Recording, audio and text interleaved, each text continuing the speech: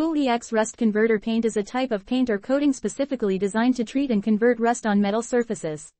It is used as a primer or as a standalone coating to protect metal objects or surfaces from further rusting and corrosion. Here's how Fuel EX Rust Converter Paint typically works. Preparation. Before applying Fuel EX Rust Converter Paint, it's important to prepare the surface properly.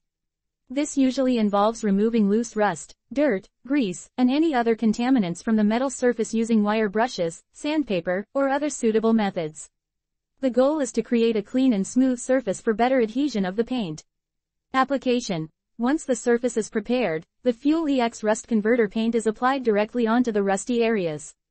The paint contains chemicals that react with the rust, converting it into a stable compound. This